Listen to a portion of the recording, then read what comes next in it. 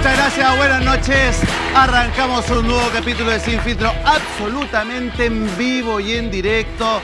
Sin Filtro Prime, póngame el chat por favor atrás, como ya está explotando, 4.000 personas en línea esperando solamente el programa más influyente de la política en Chile.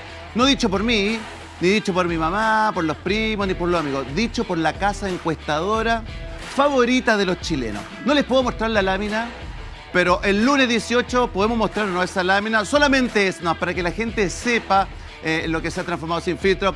Quiero darle las gracias a todos nuestros televidentes, la gente del chat, porque gracias a ustedes es posible que este sea el programa más influyente, de verdad, más influyente de la política chilena. El plebiscito se está jugando acá, las elecciones se están jugando acá, próximo año se juega todo acá.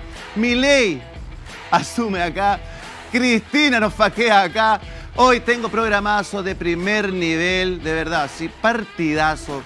Hoy día, tenemos, hoy día tenemos un Real Madrid-Barcelona, muchachos, jugadores así de primer level. Parto hoy día Ah, antes, antes no. Antes quiero dejar algo muy claro. Estaba circulando una ficha, ¿cierto? Una gráfica nuestra de los invitados que teníamos el día de hoy. Uno de esos era Marco Enrico Minami, pero telefonió temprano en la mañana. Parece que estaba con fiebre, pasita. No, estaba con fiebre, así que se ausentó último minuto, muchachos. Marco, te esperamos mañana, lunes, martes o miércoles. Esta es tu casa, cuando quieras a debatir acá. Arranco presentando los que me acompañan el día de hoy. Parto por la izquierda. Es ex candidata constituyente, vicepresidenta del PPD. Es una de mis favoritas. Natalia Pergentili, ¿cómo estás? Buenas noches. Hola, espero que no le digas a todas que son tus favoritas. Solo digo eso. No, muy buenas noches a todos, a los del panel del frente, a los de mi panel.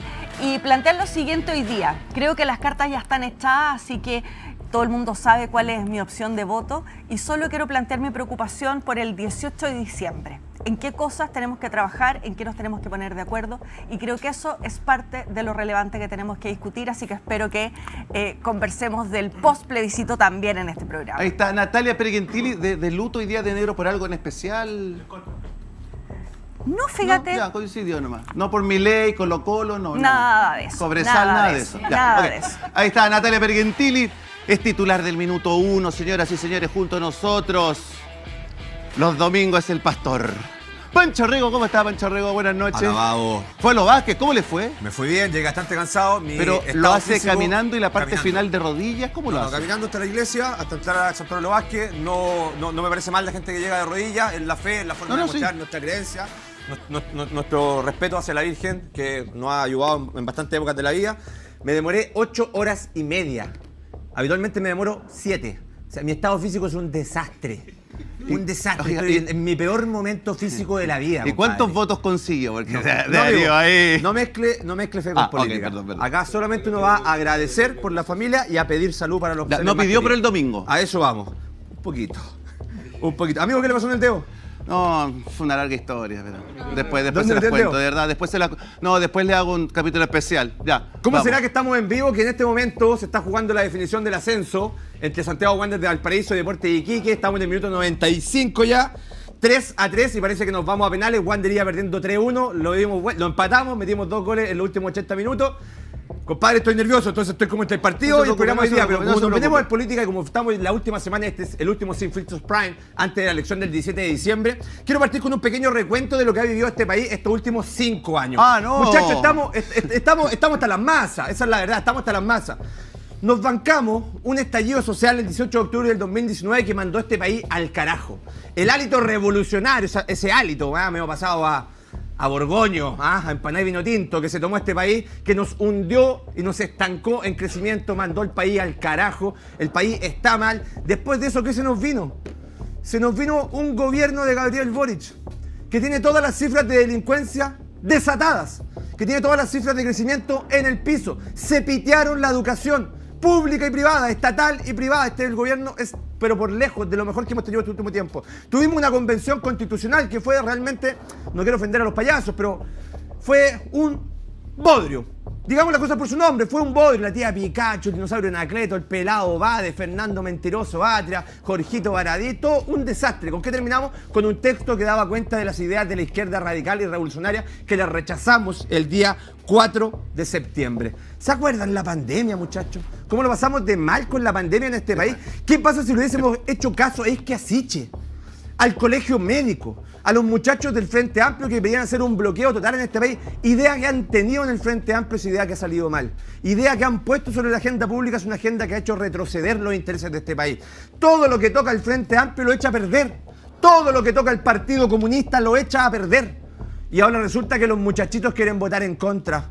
Y quieren votar en contra porque quieren mantener vivo el proceso constitucional y lanzarse con una asamblea constituyente. Y hoy día lo vamos a escuchar, porque hay algunos que dicen la verdad. Este fin de semana nos desayunamos con las declaraciones de Huenchumilla, de la democracia cristiana. Reforma en el Congreso que era el Perla.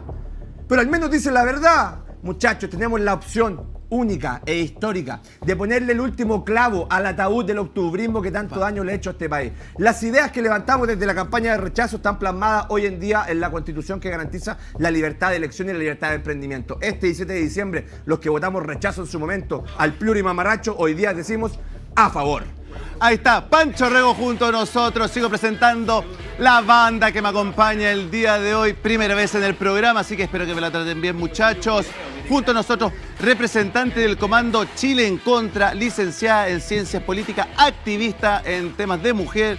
Javiera Arce, ¿cómo estás, Javiera? Buenas noches, bienvenida. Buenas noches, muchas gracias por la invitación. Em, a ver, yo no estaba preparada para, este inicio, pero creo que eh, el abogado Rego nos acaba de poner un marco interesante.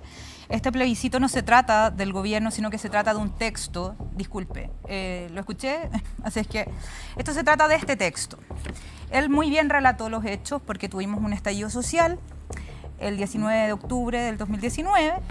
18 de octubre, y ahí mismo quedó demostrado en este estallido social que nuestro sistema político no funciona. ¿Y cuál es el principal problema? Las relaciones entre el Ejecutivo y el Legislativo. Lamentablemente, esta, esta falta de eficiencia en la toma de decisiones, este texto no se da cuenta y por el contrario, este texto va a sacrificar una de las demandas principales de la ciudadanía, que es el déficit de representación y los malos y malas representantes que tiene. Lamentablemente también las normas sobre partidos políticos, que es un poquito más lo que yo desarrollo en mi investigación, no son adecuadas. Las normas también, supuestamente, los umbrales y esas otras cosas que lanzaron acá y que están aprobados son absolutamente inefectivos. Y la reducción del número de diputados, porque no afecta al Senado, es solamente contra eso, pero no suprime, sino que por el contrario, crea más institucionalidad designada. Por lo tanto, este texto no es un ahorro, no es un ahorro, por favor, este texto no es un ahorro en términos de eh, ahorrarnos en menos políticos. Por el contrario, este texto genera mucha incertidumbre, genera instituciones que no son compatibles con las que existen en este momento en el país y yo diría que habría que tener bastante más cuidado y por lo tanto llamo a la gente en su casa a votar en contra. Ahí está, Javiera Arce junto a nosotros, primera vez en Sin Filtro. A continuación, exdiputada, exministra, no, Javier Arce primera vez, pues. Me está pauteando. No, pero me está pauteando. Exdiputada, exministra, doctora, amiga de la casa. Carla Rubilar, ¿cómo está? Buenas noches. Muy buenas noches, Gonzalo. Saludar aquí al panel que me acompaña, al panel del frente, obviamente. Muy honrada. Muchas gracias. Qué linda eso. Muy honrada de estar por primera vez en Sin Filtros Prime. Ah, estoy ah, muy contenta, así que está efectivamente mi primera vez. Eh, y dicho eso, tengo que cambiar el tono. Tengo que cambiar el tono porque, y lo he dicho estos últimos días, la verdad es que estoy bastante triste y muy dolida por lo que hemos visto en los últimos días. Quiero decir de que em, ya hace unos días atrás habíamos visto cómo se estaba desplegando una campaña llena de fake news, sobre todo en la franja del comando del Encontra. Eh, piezas muy dolorosas porque yo creo que presentar en una campaña, en una franja que ve todo el mundo y que además es obligatoria para los canales de televisión, donde se miente diciendo de que vamos a obligar a una niñita a eh, tener su embarazo a término, todo evento cuando está embarazada por violación, o que eh, un niñito es sacado de una eh, sala de clases porque sus padres se han divorciado, a mí me parece que cruza todos los límites de lo que es la decencia en política. Pero, ¿por qué digo que es doloroso lo que hemos visto? Porque este último día se involucró activamente en la campaña en contra de la presidenta Bachelet. Yo no digo que ella no tenga el derecho de manifestar cuál es su posición. Me parece incluso sano para la democracia. Lo que no me parece es que se involucre en una campaña que está plagada de mentiras, en un video que lamentablemente no tiene ningún asidero con la realidad. ¿Por qué? Porque la presidenta Bachelet fue un referente para muchas mujeres. Nadie puede negar el trabajo que ella hizo en materia de género. Y muchas la acompañamos, personalmente yo con mi voto, en el caso del aborto tres causales. Pero lo que es sorprendente es que la presidenta Bachelet no se dé cuenta que con este video que lamentablemente, insisto, está plagado de mentiras, no solamente abofetea y golpea a las mujeres que estamos en la oposición y que estamos en el comando de la favor, sino que golpea y abofetea a mujeres que la acompañaron a lo largo de su trayectoria política. Yo quiero decir de que aquí nos acompaña la senadora Jimena Rincón, y la senadora Jimena Rincón fue la ministra SECPRES, Secretaría General de la Presidencia de la presidenta Bachelet. ¿Cuándo? Para que usted lo sepa, cuando la presidenta Bachelet presentó el proyecto de aborto tres causales. ¿Quién fue la ministra que fue a defender al Congreso Nacional el aborto tres causales? Presidenta Bachelet, ¿por qué usted está diciendo que las mujeres como Jimena Rincón, como Iris Benninger, como Mariana Elwin, como Solgueda Alvear, están apoyando un texto donde se retroceden los derechos de las mujeres? ¿No le parece a usted que está cruzando un límite que no corresponde a una expresidenta? Yo de verdad lamento enormemente que la presidenta Bachelet haya tomado esta actitud de convertirse en la activista del encuentro. Ahí está, Carla Rubilar junto a nosotros. Fíjese, uno de los temas centrales en el capítulo del día de hoy son eh, las declaraciones de la expresidenta, presidenta Michelle Bachelet y cómo se tomó la agenda estos últimos días eh, las mujeres y los derechos de las mujeres. Señoras y señores, se cae el estadio. Cámbiame la música, por favor, teniente. En el estudio de Sin Filtros, por segunda vez, primera vez Prime, ex diputado, ex convencional, conductor del programa Barba Roja, abogado y del Partido Comunista junto a nosotros, Hugo Gutiérrez. Hugo, ¿cómo está? Buenas noches, bienvenido Hugo. Hola, oye, bueno, quiero antes que todo agradecer la invitación. Por segunda vez me invitan a este programa y soy de verdad un admirador ya del programa, no lo había visto nunca antes y ahora lo estoy viendo, me complace. ¿ah? Pero mira, aprovecho la, oportunidad para hacer una pequeña denuncia. Pequeña denuncia. Una denuncia para que las personas que van a ir a votar el 7 de diciembre sepan que no van a ir a votar por una propuesta de constitución política. Sí, señora, señor que está usted en su casa, esto no es una propuesta de constitución este es un gran engaño. ¿Y sabe por qué es un gran, engaño? Porque esto que se conoce como propuesta de constitución, en realidad, ¿sabe lo que es? Es un programa de gobierno de los republicanos.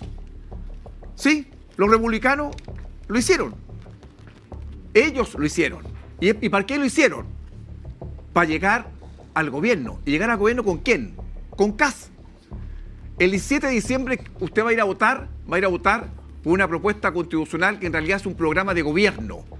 Y el 7 de diciembre va a haber, lo que va a haber ahí es una primaria para CAS que llega con un, debajo del, del brazo con una agenda de gobierno para él.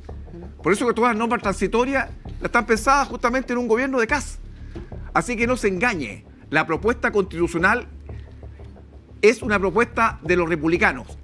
Ellos la escribieron, ellos la votaron, ellos decidieron de que las AFP siguieran existiendo, fueran constitucionalizadas, usa la vía para las, para las eh, ISAPRE.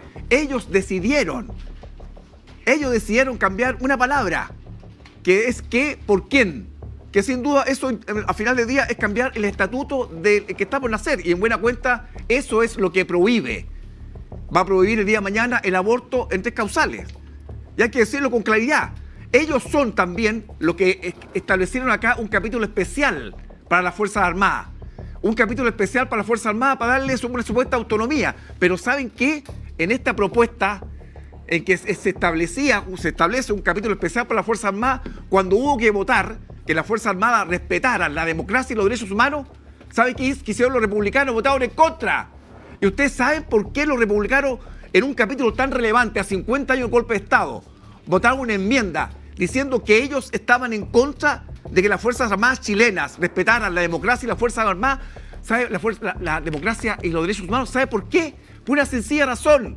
Una sencilla razón, ¿por qué? Porque a los republicanos no le importa nada los derechos humanos y la democracia, le importa una mierda, porque ellos son unos golpistas. Ahí está. Hugo Gutiérrez. Hugo, pero le quedó gustando el programa, ¿ah? Metió, metió su reel al tiro. Hugo, vio. No, no, no, si ustedes me, me- me invitaron. Oye, a, a este yo no soy el que reemplazó a. a- A Marco Enrique, no. Oiga, vio, vio, vio la transmisión de cambio de mando, ¿no, Emilei? eh, no, no lo vi. No. no. No está, no ¿Por está contento. Es.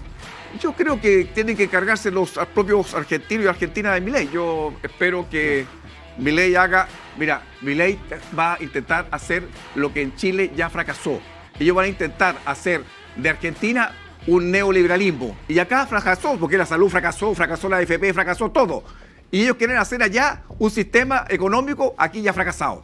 Ya, ahí está. Hugo Gutiérrez junto a nosotros, el chat explotando, vean llamas, corazones,